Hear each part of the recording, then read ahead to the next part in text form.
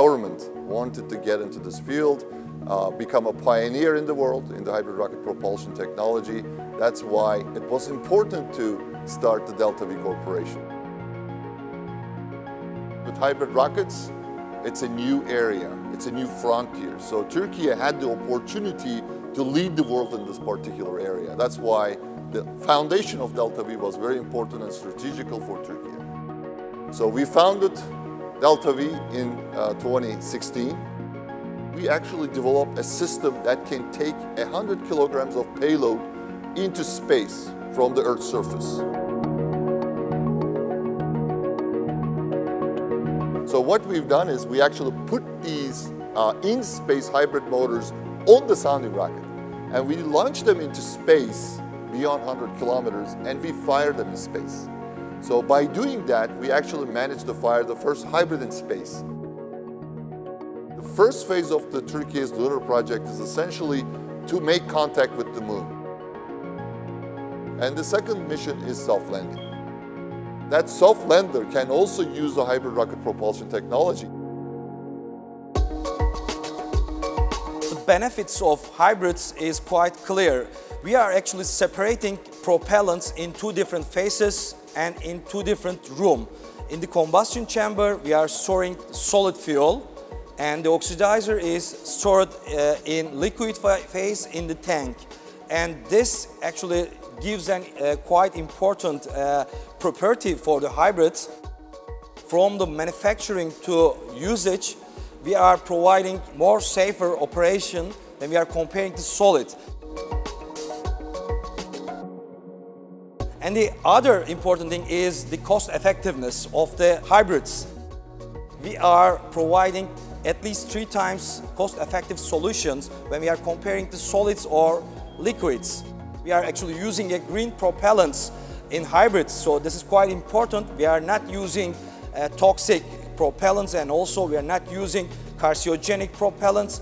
So uh, that means it is quite important for the users and also nature itself. And finally, we are capable to throttle down or throttle up the thrust. So this is actually impossible in uh, solids.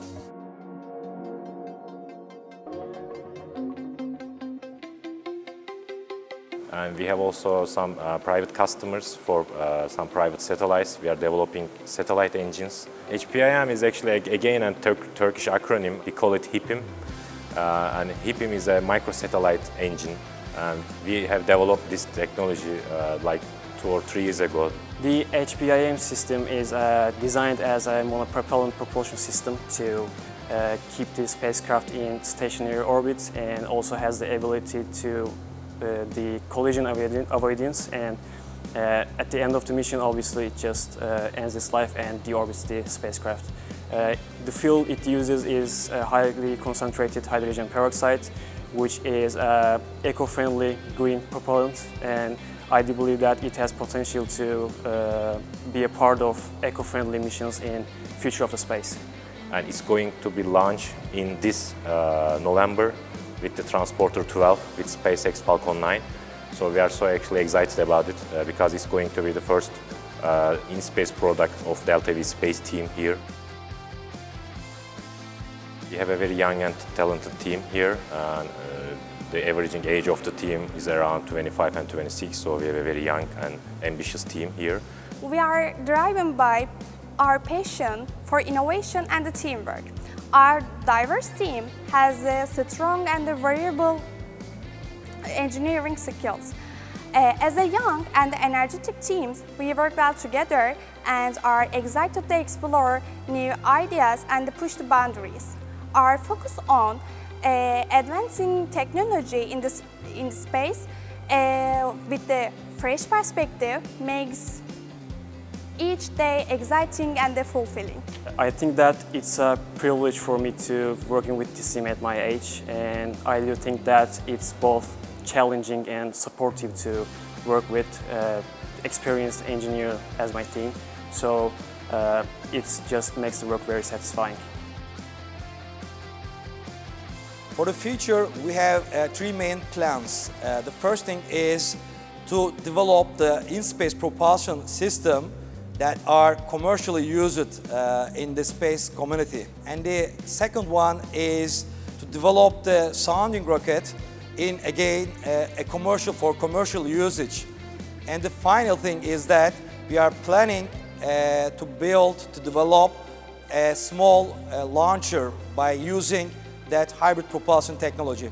Our aims with Delta V is essential to make Delta V one of the important global technology companies, especially in the field of in-space propulsion. We want to innovate in-space propulsion technologies such that we can change the world. We can enable a lot of missions in space. We can do these missions in a cost-effective fashion. Uh, we, we, will obviously support Turkey's missions, uh, space missions, including lunar missions, maybe beyond lunar missions. But more than that, we want to actually put Delta V in such a position that it is globally recognized with its products and technologies in the field and these products and technologies will be used globally in a lot of applications in space.